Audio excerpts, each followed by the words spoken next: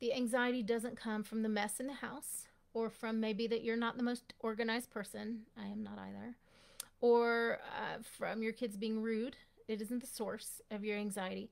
It may be a stressor, it may be a source of stress in the moment when it happens. But is it a moment and it's gone and you're back to happy lightness? Is it a moment and you're able to handle it and snap back into, I've got?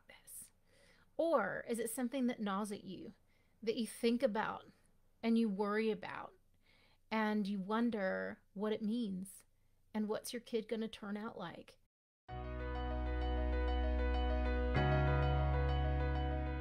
Hello and welcome, conscious mothers. Welcome to today's training and live talk on the true cause of anxiety in motherhood. We're going to be taking a deep dive today into what is the true cause of anxiety and overwhelm for moms. And why is this a piece that everyone's missing?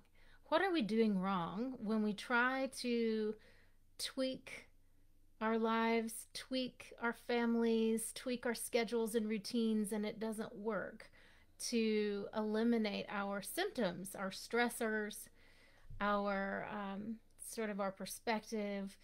I hear people trying all kinds of things to shift perspective, look at the good, be positive. Um, or there are those of us who are, are uh, more logistics people trying to apply a new routine for the family to shift the systems. So, chore charts, behavioral interventions, uh, getting a partner on board, or shifting tasks or allocation. Uh, a lot of things we're trying, right? As women, as mothers, especially during this time when everyone's together a lot more than maybe we used to be. Where I really want to start with on this talk uh, of, of understanding what it takes to resolve anxiety and overwhelm. My approach is really different from other practitioners, from other clinicians, or um, or possibly coaches or whoever you may have worked with. My methodology is outcome driven, and the goal is always to resolve at the level of cause the biggest stressors in your in your world in your life and the reason why that's so important is because often when you're just working it out yourself, you have the wrong idea about what the actual stressors are. So let's start there. With the problem of feeling jumpy and agitated, this is what anxiety shows up as in moms, right? Like stressed, tension in the body, irritability, snapping at people, just get off me, give me space. Oh my God, I'm a horrible mother. Then the guilt and shame loops. Um, oh, no one's ever here to help me. I talked to a woman this week who um, is is so wrapped up in in how how um, her husband is to blame for all of what's not working in her marriage, which has become a real point of distraction from actually working on herself. And we do this. We grab onto something, we flow energy toward it. This is the reason, this is the cause, this is the who to blame, this is the situation. They aren't the cause of our stress and our anxiety. And I know this intuitively, and I hear it every week on the phone with women reaching out for help to see if I can resolve their problem. And what I hear over and over again is it really isn't new. I have to be honest, it didn't begin in March. That I have been this way, sort of high anxiety or amped or stressed or inclined to blame or whatever. Like it's a pattern I've recognized in me over time, but it's just amped up, right? It's gotten worse. We think the cause of our anxiety is the thing we can point to and put our finger on, like that partner, or point your finger at, or that kiddo. That's the particularly intense one, the really loud one, the one who pushes all of your buttons, the one who never, never gives in. Right? That kid. Uh, we think it's the number of hours we work or our job or the fact that it's not a great fit for us where we live, the house we live in, the community, the lack of family support. I hear that all the time. It's because I have no family support. Now I get it. I have no family support around me. We haven't for since we had kids. And I also want to say that that is not the cause of stress for any of us who are being an island that we have to pull our heads out of the sand about this and it's just another form of distraction or blaming of circumstance and I'm saying this to invite you into a higher consciousness on this and a higher level of self responsibility and and um, ownership, so that you can decide if you need to reach out for help and solve a deeper layer of what's going on for you, contributing to you feeling uh, really stretched thin or exhausted or um, or really falling apart right now. The anxiety doesn't come from the mess in the house or from maybe that you're not the most organized person. I am not either. Or uh, from your kids being rude. It isn't the source of your anxiety. It may be a stressor, it may be a source of stress in the moment when it happens. But is it a moment and it's gone and you're back to happy lightness? Is it a moment and you're able to handle it and snap back into, I've got this? Or is it something that gnaws at you? That you think about and you worry about and you wonder what it means and what's your kid going to turn out like and what kind of monster might he be to his future partner or to his children.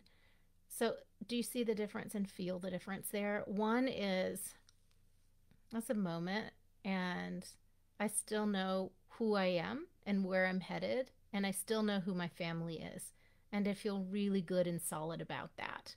I'm clear about that. Or is the messy house the partner who is inattentive to you or unhelpful or not understanding of you the partner with whom there's no there's no open communication there's just more intimidation or inequality or irritation or just even disgust i hear that a lot too i'm just disgusted i just want him to just I'm just here because I don't want to split the family, or we can't afford to split the family right now and pay twice what we pay in in, in monthly bills. Okay, so those things are yucky. But the first big bomb, truth bomb, I want to drop here is they aren't the cause of your anxiety. What they are is reflections of your vibration. They're reflections of how you already feel and already have been feeling for a while now. So when your kid yells at you, he isn't the cause of your overwhelm, but he is certainly shining a light on some kind of unhappiness, not knowing who I am as mom, my wobbly belief about how how strong I am for this kid, what, whether or not I'm the right mom for this kid. Every time that my kid acts up, if I'm in doubt, about what an amazing mother I am, I'm going to I'm going to go there. I'm going to go to thoughts about what how I'm feeling, about where's this kid going to end up, about oh my god, where how how is he or she going to make friends down the line? I'm going to go there to what kind of damage I'm doing to my kid. Do you see in that example how the kid didn't create my self-doubt? But that's a part of me. Do you guys get this? The reality is that as long as we're there in that mode, we stay miserable. We will stay in misery until we take control of ourselves and our lives. Meaning, we got we got to prioritize ourselves. We got to invest. We got to learn. We got to put ourselves first and say, you know, I, I'm going to uplevel me so that my marriage can up level so that my relationship with my kids can grow and transform into something trusting, connected, respectful, cooperative, and beautiful that other people look at and go, I want to be like that. And it's a beautiful thing to have that. It's a beautiful thing to have someone, even friends, say to you, Gosh, how are you guys so, how are you so happy? Or how are you guys so close about you and a child? It's a beautiful thing to be able to own that and live that. We have to peel the layers and get underneath. And the work I do with my clients is to help you identify what inside of you is running in contradiction to that sense of peace that you're wanting. And the fun, cool part that I love about my job is that it's often not what people think. That when we get kind of looking sort of inward and check out what's happening under the hood, what we'll find is usually surprising to people. There's a kind of remembering that happens when we find out what we are embodying that's not the truth of who we are. In general, we're discovering or helping someone remember what happens in their process. Where are they getting caught up? Where are they disabling themselves? Where are they getting sort of frozen or paralyzed in their process of taking ownership of what they want to need and how they want to run their households? How you want to your house to flow, the connection level you want to and need to maintain and have with your children for them to feel respected enough to comply. Their level of respect that you need and want with your partner in order for your partner to join you as a united front with your children in accomplishing and slaying all the millions of things that we do as co parents. What we find when we look beneath the surface, what are the real causes of overwhelm, of anxiety, are almost always a selection of a, a, a, few different things that fall into the same category of I worry or I feel that I am not enough and I'm never going to be enough. That I'm a terrible mom to my kids, that I don't deserve this amazing family. These beautiful kids, I'm letting them down. Right? I'm turning them into brats. Or I'm not present with them. They just want me and they crave me and I have too many I can't my mind is out of my control. So I cannot sit with them and be with them and enjoy them because I'm totally overwhelmed, never at ease. And now they are picking up my I'm not enough.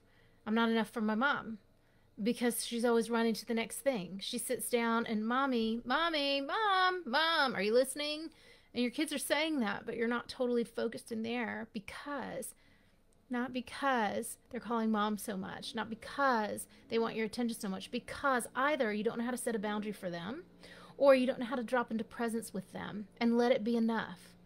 Or you don't know how to shut off that thinking about the lots of other things you haven't done yet because you feel like, oh my God, there's not enough time. I'm not enough. There isn't enough energy. I'm never going to get it done. I'm never going to figure this out. And I suck. Those are stories and narratives that you're playing. So why? and we want to find out what that is. And that's why you come and work with someone like me who can drive down to what piece do you need to resolve so that you can find total freedom to be clear in who you are, what you say, to be strong in your energy, to be able to maintain that kind of um, efficiency, productivity, that kind of confidence as a mom. So when the stuff hits the fan, you are not hitting the fan with it you are able to maintain your sense of uh, authority, calm, love, fierceness, boundaries. The solution to overwhelm, the solution to feeling frayed, amped up, strung out, anxious, not good enough, is not to drop every expectation you have of everyone else and take on more hard work yourself. Never, never, never is that the answer. That's what a lot of you are doing that is increasing your anxiety, your depression, your exhaustion, your autoimmune disease um, triggers activating, turning on. That is not the path to the overwhelm solution in the true resolution of these symptoms of anxiety and overwhelm is some kind of unique signature in you, uh, energetic imprints. We're clearing the old energetic imprints of martyrdom, of self sacrifice, victimhood, all the yuckies, just all that crap that shows up for the first time when we become moms. Congratulations. You get to see all your shadows at once all the ways you'll expect yourself to bend and break for your children, all of the instinctive ways that you're going to sacrifice your sense of self, your identity for others, and you get to choose either consciously to fix that and become stronger than you ever were before, or to slide further into it and let it happen to you, which is usually where uh, people become out of control in their anxiety and in their state of overwhelm or frustration. And I totally understand because I have been there and I have clawed my way out of that using so many of the tools that I now teach other mothers how to employ. If you're at a point where you are ready to put down sort of the things that are not working, meaning pushing harder, uh, ignoring your health signs, just driving through thinking someday it's got to get easier, but it just hasn't yet, and you're tired of of uh, doing the loop de loops and that same cycle. It's just a lot of tail chasing going on. Then reach out to me and let's connect. Book a call with me. It's free. We will talk for 45 minutes. Uh, we may not need that much time to create a plan for you I will help you to peel some layers back and find out what's really going on and why are you stuck. And once we see why you're stuck, we're going to look at what you're wanting instead. And at that point, if I know for sure, beyond a shadow of a doubt, that I can help you have what you want and resolve your anxiety and overwhelm or whatever's going on for you, then I will let you know. Then we can talk talk beyond that about what it looks like. And if not, usually I have other resources that leap to mind, or I might give you a homework assignment, or there's something else that I'll help to connect you with that would be a great next step for you. Okay? Not everybody is ready to roll up their sleeves and do the internal work and receive the high, high level of support that I can offer you in Awakened Motherhood, and that is okay. And you will never, uh, you will never be judged uh, based on where you are in your journey. Whether you have, uh, this is day one of you thinking, I might have a problem I need to fix, or you're on day million of worrying about it. Um, just don't hesitate, reach out, connect. You can also message me too if you're inside of this group. Comment or message me. I'm going to drop the call booking link so that you can connect with me. It's www.honorgenetski, my full name, dot com forward slash call. I will put that in the post, okay? Lots of love to you guys.